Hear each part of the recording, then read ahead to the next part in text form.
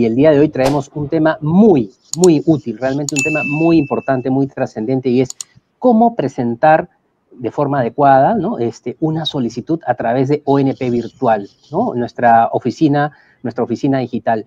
Y en esta ocasión, eh, me permiten, por favor, quiero darles la bienvenida y presentarles a Wendy Moore. Wendy, buenas tardes, ¿cómo estás? Y gracias por acompañarnos.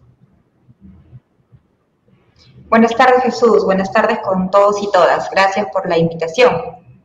Vamos a contarle a nuestras seguidoras y a nuestros seguidores. Wendy More es abogada por la Universidad San Martín de Porres. Ella actualmente es coordinadora del Centro de Atención de San Juan de Miraflores en Lima, es decir, si por AVE tienen la necesidad de ir presencialmente a este centro de atención, ahí van a encontrar a Wendy a cargo de esta oficina. Y cuenta además con 14 años de experiencia en materia previsional dentro de la ONP, así que es una eh, experta ¿no? que nos acompaña el día de hoy y con quien vamos a revisar, repito, cómo debemos presentar eh, nuestras eh, solicitudes, nuestras peticiones a través de ONP Virtual PE, que es la oficina virtual de la ONP. Pero bueno, creo que el primer paso antes de presentar una solicitud es obtener la clave virtual, ¿no? Vamos paso a paso. Entonces, paso número uno, ¿cómo obtengo mi clave virtual? Wendy, no sé si nos puedes explicar, por favor. Sí, claro, Jesús.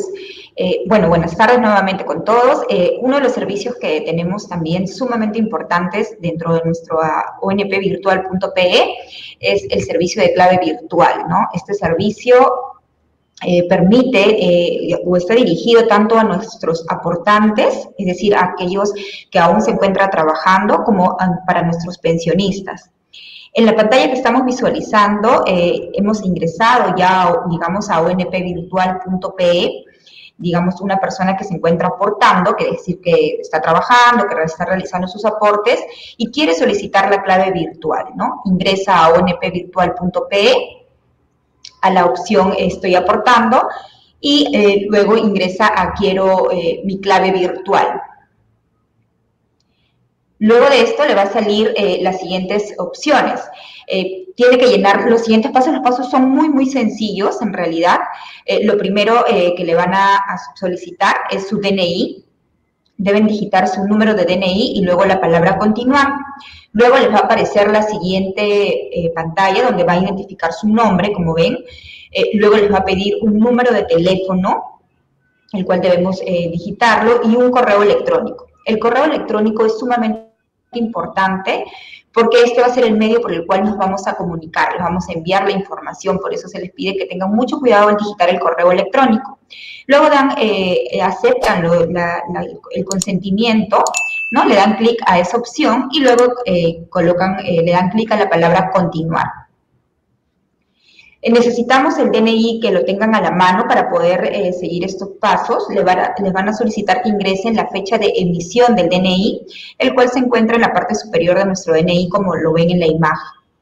Luego les van a solicitar que coloquen el nombre de su papá o de su mamá. Ustedes eligen y consignan ahí la información. Estos son, eh, digamos, datos de seguridad para verificar que eh, es el mismo titular quien nos está solicitando la clave, ¿no? Luego le damos la opción, eh, la palabra continuar y luego ahí nos aparecen dos opciones.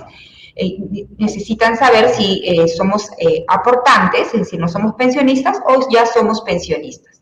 En este caso daremos, digamos, escogemos la opción no soy pensionista, ¿no? Aún, o sea, estoy digamos, aportando, le damos eh, clic en la opción eh, continuar.